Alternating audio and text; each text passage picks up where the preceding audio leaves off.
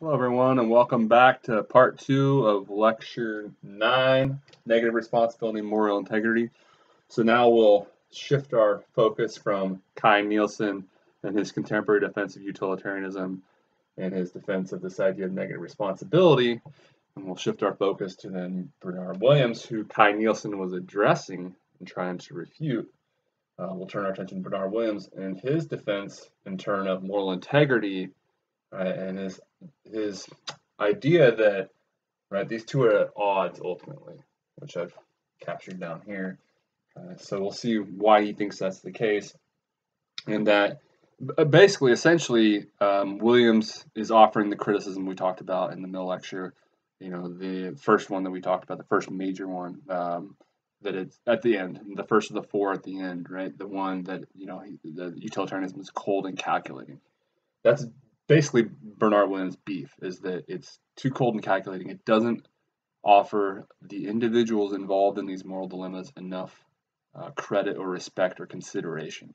Okay? They're just cogs in a in a machine. They're just variables in this long utility calculation, and that's not good enough. Williams was to suggest. Okay? Who is this one Bernard Williams guy? I've alluded to him already a few times. Um, I mentioned, I think, in the first part of the lecture, the, the previous video, uh, that my first encounter with him was in uh, Nietzsche class. I've actually taken three graduate classes on Frederick Nietzsche, uh, and so I've encountered Bernard Williams frequently because he's one of the most well-known, if not the most well-known, uh, Nietzschean scholar. So he's well-known uh, within academic circles, at least with respect to those who are interested in Friedrich Nietzsche's thought. Um, and so I, I, encountered quite a quite a few of his articles on Nietzsche. Uh, he's also well known, as I mentioned, the first bullet point on the slide 15. Right here, he's he's also well known for if you go way back to lecture one when we went through the history of philosophy, and I demarcated sort of what stands out about the contemporary era, and that was that you know this gulf emerged in philosophy between the contemporary and the analytic camps or uh, yes, continental. Sorry, not con- not contemporary. Continental and analytic camps. Uh, and I mentioned at the time that I'm not a big fan of that um, that schism or that divide, and neither was Williams, I think. And he he's always stood out to me as doing a good job of sort of um, what's the word marrying the two camps or synthesizing, I guess the way I put it in the the notes here. Um, kind of draws the two together. He you know, he talks about things that are associated with the Continental Camp quite a bit, but um, I would almost say he has an analytic style in terms of the way he writes and so on. So, um, for better or worse, uh, in, in, my mind, it's you know he's a great example of one who can, or how it's possible to just sort of synthesize those two camps, or I guess the other way to say it would be sort of ignore it, right, and and not let it define what you're doing in philosophy, as it seems to do for so many others. I mentioned that other grad student I encountered in the first week I was at KU, and he just wouldn't have anything to do with this book that was associated with the Continental Camp. Okay, um, you know I, that's never sat well with me, and again, I don't like this gulf that's emerged, uh, and so I Williams has always you know um, appealed to me in the sense that he's. Uh, it seems like he helps bridge the gap between these two uh, competing camps in philosophy. Anyway, moving forward to so that's Bernard Williams. Not that you need to know too much about who the dude was. You need to know what he what he says more or less. Um, and now we don't have an associated reading. Um, I, I, wish we had something in our textbook um, with Williams because again, he and Kai Nielsen are going back and forth in the scholarly journals. Um, so we don't have anything, but I will quote uh, quote what he says here and there, and I think he does a good job, especially I got a long quote here on, in a few slides where he does a really good job of capturing that idea that you know the critics that utilitarianism is cold and calculating. And so more on that here in a moment. Um, but let's let's start here. You know, with this idea, right, of negative responsibility and really trying to hammer home this point that it's at odds with what he means by moral integrity. That's really his main issue here. Uh, so remember what negative responsibility is it's invoked by Kai Nielsen and uh, other like-minded utilitar- utilitarians. It's this idea that we are responsible, we're blameworthy if in situations where we could have done something to prevent a much greater evil, we didn't, right? And when we didn't, then we're blameworthy. So the fat man in the cave example, if we don't blow that innocent fat man up, then we are blameworthy, right? We have some responsibility for the things we allow to happen when we could have prevented them. Okay, so he wants to home in on that idea, uh, Williams does. And he's worried about um, what this sort of mentality will do to the individual, right? And what it's going to require of individuals. Okay, if they're you know required to uphold this idea of negative responsibility, then at times they may be required, you know, for the sake of greater utility, to promote the greatest happiness for the greatest number, to do something that's completely at odds. And to really appreciate what Williams is getting at here, you have to imagine something that's very near and dear to the person, right? They might have to do something that's completely at odds with that. Uh, and he thinks that that's not necessarily as straightforward as the utilitarian suggests, right? Requiring them to do that, to just completely ignore what matters most to them for the sake of upholding the utility calculation. Um, that's the sort of thing that that Williams wants us to question, right? Um, you know, that shouldn't sit well with us. He, he wants to suggest.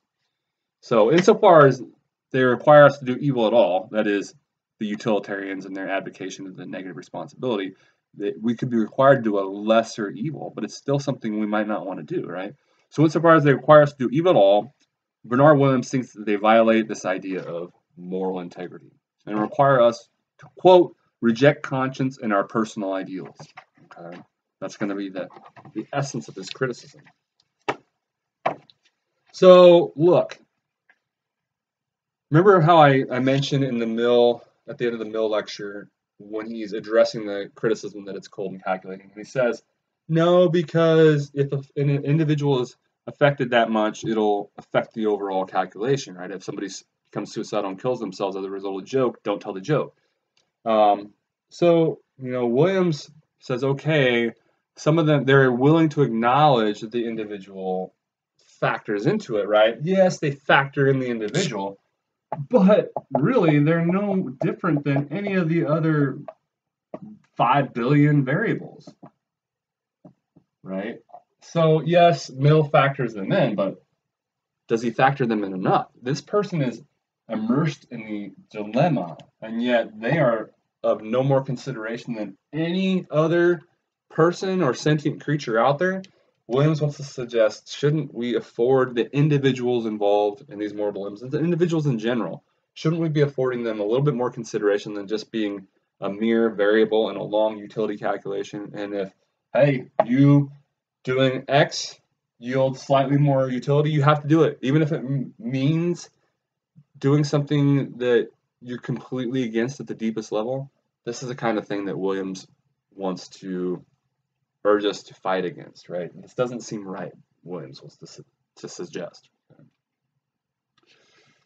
Um, so uh, to some extent, right, granted it's going to factor in the individual to some degree, the utilitarians, right? It's not enough, Williams wants to say. And so, at least to some extent, utilitarianism denies the moral significance of the agent's feelings, right? And it's in that sense he says that it alienates the agents from their own moral feelings, right? From what matters most to them it might require, and who knows how many times you'll be involved in these situations, you might be required to, again, completely ignore what matters most to you. And that's what he means by suggesting that it's alienating moral agents from what, from what matters to them, from their own moral feelings. Uh, let's see. So turning to slide 18, you know, he has this idea of moral, whoops, moral integrity. Moral means an L. Okay. Moral integrity so he thinks we find, again, this is slide 18, thinks we find utilitarian standards of right and wrong action bothersome or troublesome because they diminish or entirely ignore considerations of personal or moral integrity, right? What matters at the deepest level to these individuals. And so it's in that sense, right, he thinks that they fail to afford individuals enough respect. I can't emphasize enough to appreciate what he's saying. Imagine that the person, and I'll give you an example here in a moment, that person involved here in upholding negative responsibility has to do something that they're completely against, right? Um, again, they feel very strongly about. Okay? To appreciate what Williams is getting at, do we want to just go along with the utilitarians and require them to nevertheless ignore their own deep-seated feelings just to uphold a utility calculation? And I'm going to argue, I'll give you an example where I think it makes his point even better than his examples because Williams offers his own examples just like Nielsen does. Um, but his examples are very um, extreme. And I think the examples I give, I'll give you one here in a moment, really illustrate his point even better. Um, because, you know, in instances where the calculation, you know, the difference between doing A and B, and A requires the person to do something that they feel very strongly against, right? If it's only like one more util, do we really want that person, when it's only going to generate one more util, to have to do something they feel very strongly against at the deepest level? It's these kinds of things that um, that Williams wants to encourage us to at least consider, right? Whereas the utilitarian acts as though it's, it's very straightforward. You know, do whatever promotes the greatest happiness for the greatest number, and at times that's going to require you to blow innocent people up if doing so will save 20 other people from drowning. They act as if it's very straightforward and obvious, and Williams will say, well, hold up. Okay, I don't know that it's that straightforward that we always ought to require people to um, ensure the lesser of the evils happens when, again, in ensuring the lesser of the evils happens, they have to do something they feel very strongly against. Uh, where are we here? Yes. Okay. So I mentioned right that um, as far as they require us to do any evil all, right, they violate this idea of moral integrity and require us to reject our consciousness and our personal our, our conscience and our personal ideals. Turning to okay, 18. There we go. To regard, so this is a quote. Again, we don't have unfortunately, any text that you guys read for this. Um, but this is, I want to reiterate, this is what uh, an art, you know, an article that Williams wrote that then Nielsen, that we already discussed, Nielsen's responding to when he writes all that stuff about the fat man in the cave and so on. Williams writes, quote, to regard those feelings from a, so what the person feels very strongly about at the deepest level, to regard those feelings from a purely utilitarian point of view is to lose a sense of one's moral identity, to lose in one in the most literal way one's integrity. So what he means by integrity is just whatever matters to the individual. You know, one's feelings, what they feel strongly about. he uses this term projects a lot. It's just whatever um, engagements the person you know takes up, um, commitments, whatever matters to the person. That's what is wrapped up in this idea of their integrity.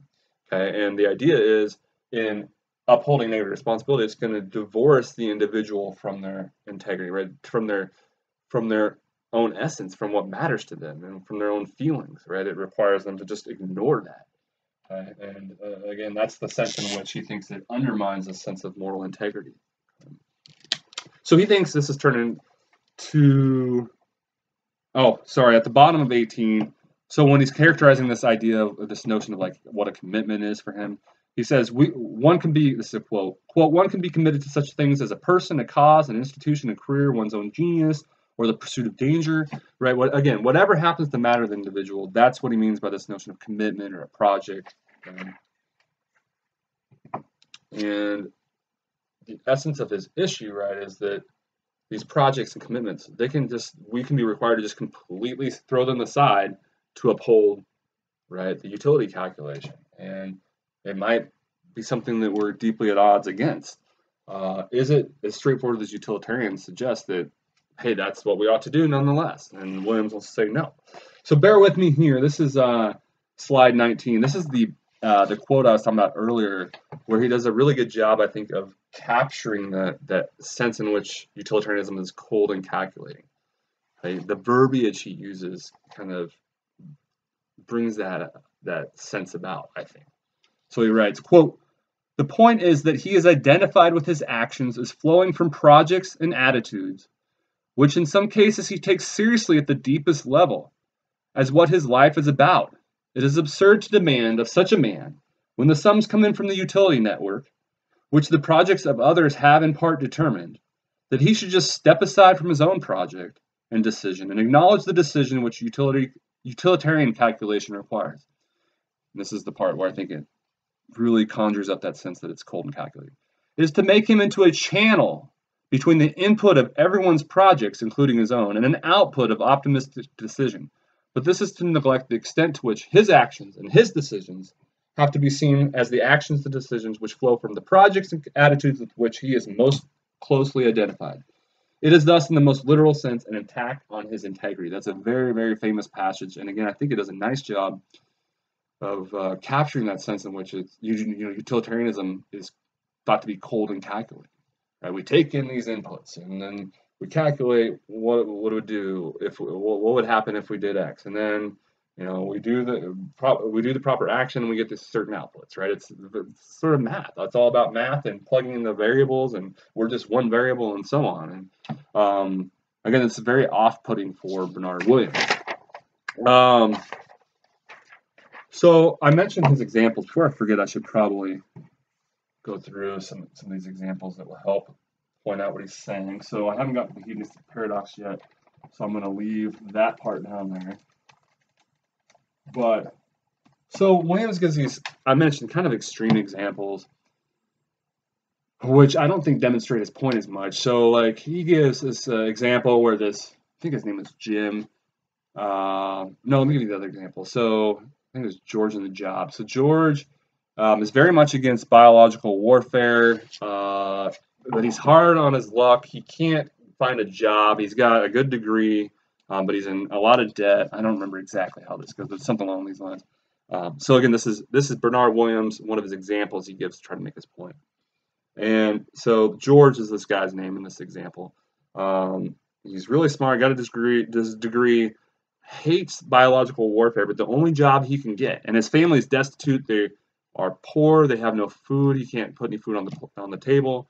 You know, he has a family that depends on him. He can't find any work that's acquaintance he has says I can get you a job, you know, but it's involved. It involves developing these biological warfare, which he is feels very strongly against.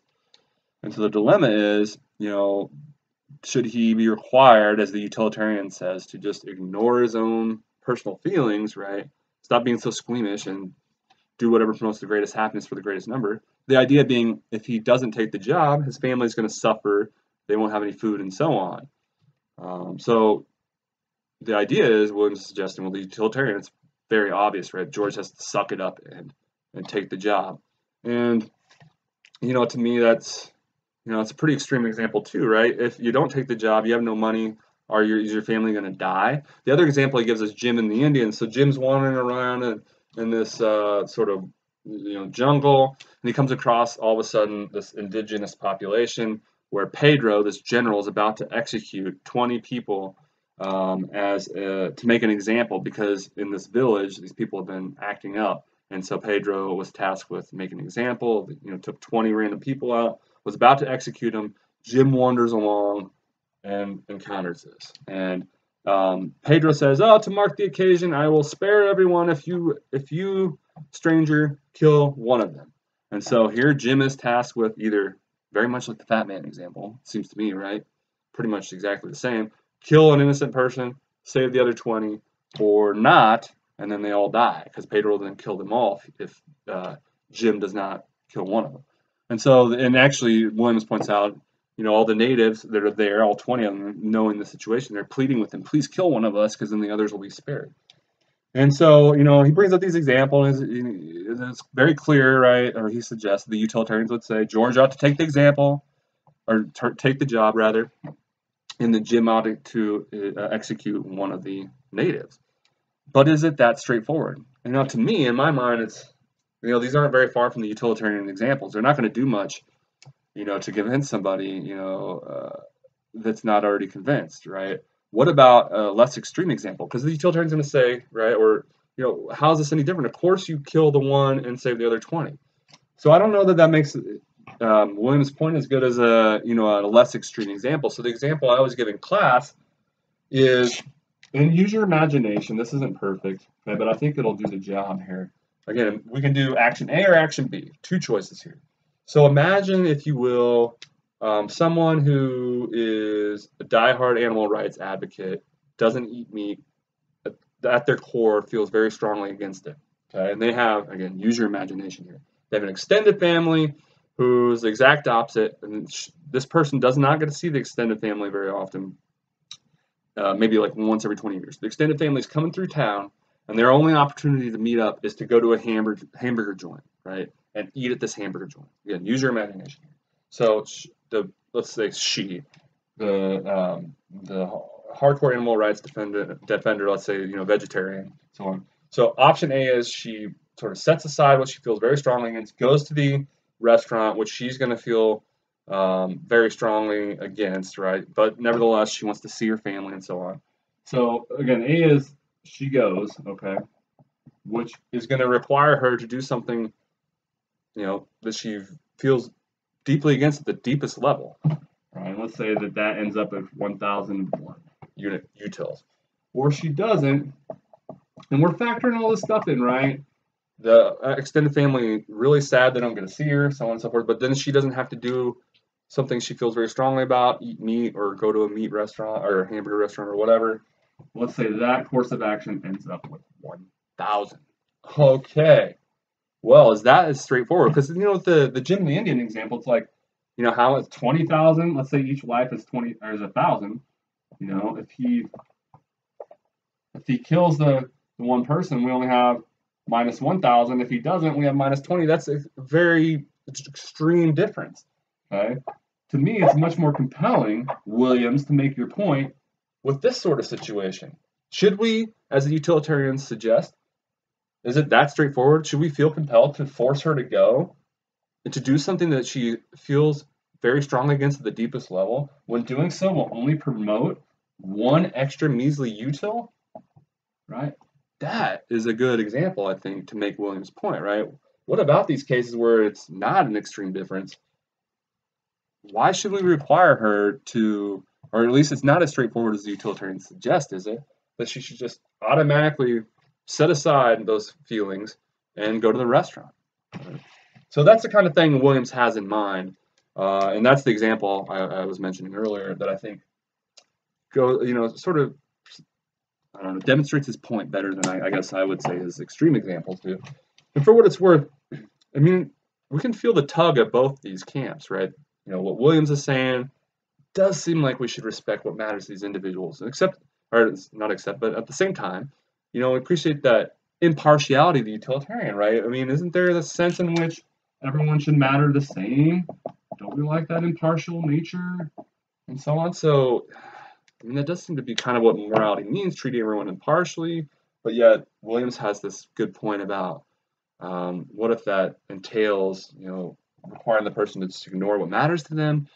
The whole point here is that I mean, both I think both these camps make good points, and it's like a, it's like you're in a tug of war, and I guess it's up to you to decide who makes the better points. But you know, when you put it like this, and it's not an extreme example, should we require the person to just stop being so squeamish, suck it up, set aside what matters to you most, and do what promotes the greatest happiness for the greatest number? In these instances where it's barely anymore. Anyway, that's that's the kind of idea or the issue that Williams wants to raise here. Turn to slide 20. As we've already been mentioning, the whole issue, right, is these seem to be at odds.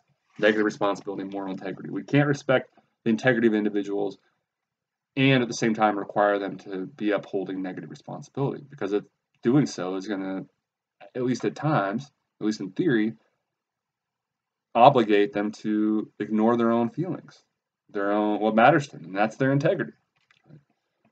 Uh, the problem lies in that, as Williams says, quote, the doctrine of negative responsibility represents the extreme of impartiality. So he thinks it's too impartial, it's, it's in an extreme sense, and abstracts from the identity of the agent. Right? We completely have to remove ourselves completely from who we are, right? and we just become a, a, a variable no different than any other variable.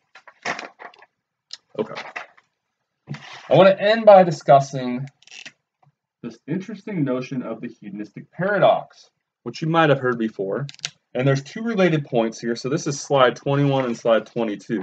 Now I should say slide 21, I don't actually articulate the hedonistic paradox yet. The hedonistic paradox itself is, is mentioned on the next slide. But there's these two points are related to it. So to get to the hedonistic paradox and what he's saying, we first want to mention this first point, which is articulated on slide 21. So the first point is basically he says, um, the hedonists are wrong, right? People like you know Bentham, Mill, uh, Epicurus, they're wrong. Uh, not everything we do is motivated by pleasure. So, for example, the person that's an animal rights advocate, it's not Williams would say it's not. It's not like they sat down and they thought, okay, how can I maximize my pleasure the most? I'll pursue animal rights and defend them, or I'll, you know, uh, defend a woman's right to abortion or something like that. It wasn't born out of um, this desire of ours to maximize our pleasure. He wants to say, no, that's not our motivation. They're wrong. So that's point number one. Okay. So and that's uh, what he said. That's what he's getting at when he says that these projects and commit or commitments, what matters to us, they might quote make the person for whom they are worthwhile happy. It does not follow, nor could it possibly be true, that those projects are themselves projects of pursuing happiness. So he points out a lot of times we do become happy in pursuing our projects and what matters to us. But those projects and what matters to us, the impetus for them was not this desire to maximize pleasure. That wasn't what gave birth to us having these uh, projects and commitments. Okay? Even though they might make us happy, that wasn't why we engaged in them in the first place. So, in other words, we might derive happiness from the pursuit of our projects and commitments, but that attempt to become happy, that was not our motivation. That's why not why we engaged in them in the first place. So obviously that's going to undermine utilitarian theories, you know, these hedonistic utilitarian theories that suggest everything we do is um, is the result of us pursuing pleasure and avoiding pain. No. Okay. So that's point one.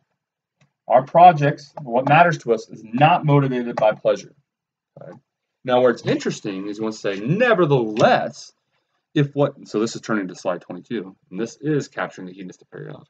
If what you care about is maximizing pleasure, you're nevertheless you only your only chance to actually maximize pleasure is through pursuing these projects. In other words, indirectly, because remember these projects weren't the result of our attempt to maximize pleasure. But he's saying, nevertheless, if you want to maximize pleasure, it has to be indirectly through not focusing on pleasure, but rather pursuing these ulterior projects that weren't born out of this attempt to maximize pleasure. And then and only then can you actually become as happy as you can right? Stop thinking about it so much. Stop focusing on it so much. And this is something I've thought a lot about, and no doubt maybe you guys have as well.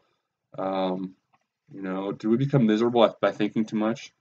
Right. Uh, once you, this is something I've thought about a lot about, like swallowing the philosophical pill, right? Um, is it a burden and a curse, right? Uh, maybe it's the case that when you start, you know, doing philosophy, you can't turn it off, right? And um, it's, it's a curse. And maybe it's the same thing with like happiness, right? Um, once we start thinking about it and trying to figure out how we can get it, well, then it's like a curse. We, you know, we become less and less happy. And so the, the idea with the hedonistic paradox is, again, it's the idea that we're best off if we, won't, we really want to be happy to, to stop thinking about it so much. Um, the, the less we reflect on it and thinking about and think about it and directly pursue it, the better off we'll actually be. So, uh, what is the hedonistic paradox? I actually try to define as best I can here. Right here.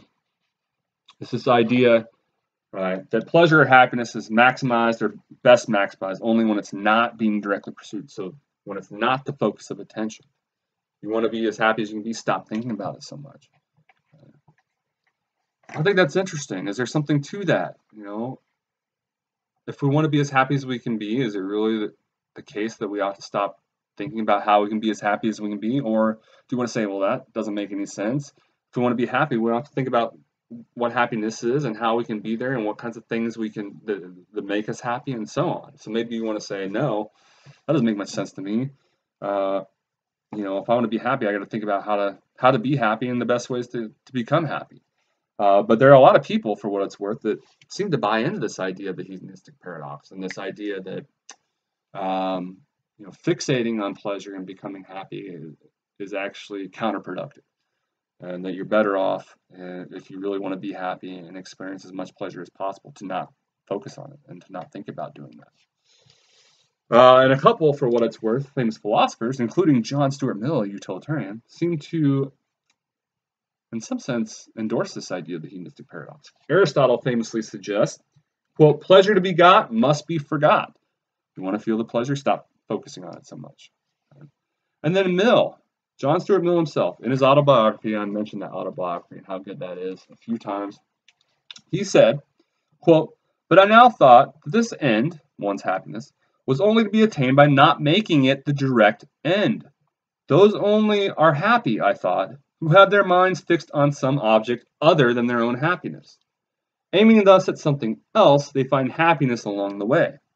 Ask yourself whether you are happy, and you cease to be so. So here you have a utilitarian, one who says the right thing to do is whatever promotes the greatest happiness for the greatest number. And he seems to be acknowledging, well, maybe the best way to do that is to stop, not necessarily think about it all the time, right? Stop focusing on all the time, all the time. That's interesting, right? Um, so what would the methodology be for a utilitarian who says the proper thing to do is promote the greatest happiness for the greatest number, who then nevertheless acknowledges the hedonistic paradox and that our best chances of doing whatever promotes the greatest happiness for the greatest numbers to not think about what promotes the greatest happiness for the greatest number, right? And not focus on it. That seems to be the uh, idea here. It's a little quirky, a little interesting. So that's the idea of the hedonistic paradox. Again, a couple related points, right? What is the hedonistic paradox itself? What is it actually? It's the idea that pleasure or happiness can only be maximized if pursued indirectly by not focusing on it, right? And that's paradoxical because we would think that if you want to to maximize something, you'd have to think about it and focus on it. Well, no, not when it comes to happiness or pleasure. You're best off not thinking about it and focusing on it. And then you'll actually become as happy or experience as much pleasure as possible. And that, strictly speaking, is the hedonistic paradox. The first point we talked about, right, was the whole idea that the hedonists were wrong. Um, utilitarians were wrong in suggesting that, that all we do is for the sake of pursuing pleasure and avoiding pain we don't take up our projects and what matters to us. When we defend animal rights, when we go out and defend the death penalty or, or uh, protest against the death penalty, it's not because we think we stand to, maximize our, our pleasure. So says Williams. Now, of course, the hedonists are just going to flat out say he's wrong. You're wrong. We, we might think, right, we have noble motivations and it's not because we stand to maximize our pleasure. But in fact, when we defend the animal rights, it is because we feel a little bit of pleasure. That's why we do it. That's what the hedonists are going to say. So, what do you think? Um, you know, is there something to that? As is, uh, what about this hedonistic paradox? Is it true that everything we do is not born out of this desire to maximize pleasure? And is it true that our best chances to maximize pleasure, if that's what matters to us, is to not constantly think about it? That's question two. And then question one is, what do you think of Williams' criticism do you think he's got he's onto something and the, the utilitarianism i mean we've talked a lot about utilitarianism at this point so hopefully you, you feel like you've got a pretty good handle of it. Do you do you share his concern and other critics concerns that um, utilitarianism fails to appreciate individuals as much as it should? So what do you think of his criticism? You on board with williams or do you tend to side more with the utilitarians at this point? So what are your thoughts in general at this point? So we will move on before we get to Kant and deontology, we'll actually talk about someone who is very reminiscent of Kant. There's a lot of similarities, and that's why um, I choose to address Aquinas and natural law theory right before Kant, because it's the best, I think, place to sort of put natural law theory and Aquinas is right before we talk about uh, Kant. And so before we get to Kant and turn our attention, you know, and focus to deontology, we're going to do a little bit on natural law theory, talk about um, Aquinas and what he has to say about morality. Talk about some similarities between, especially him and Kant, and especially him and Aristotle. Um, and then, moving on to lecture 11, we will talk and focus exclusively then on deontology. Uh, Kant, that's going to be a, a, very important lecture, very long lecture. Uh, and then we'll wrap up this section or part of the course with lecture 12 where we'll, we'll talk a, a, little bit about some criticisms of deontology, um, a critique uh, by, by way of William Frankena, some of his criticisms of deontology and Kant's version of it at least. So that's the the roadmap, if you will, for the rest of you know this this part of the course um, coming up, right? Lectures 10, 11, and 12. So hopefully you enjoyed part two of lecture nine. Until uh, next time with lecture 10, I hope you enjoyed this and uh, enjoy the reading that we have coming up too. Thanks.